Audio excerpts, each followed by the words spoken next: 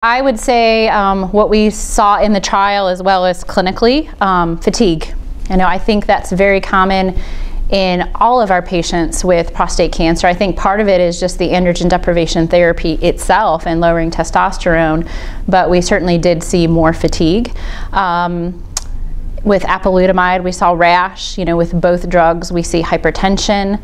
Um, one of the um, interesting side effect profiles that have been kept track of are falls. Um, there was always a concern that enzalutamide can cause some CNS penetration and, and increased fall rate.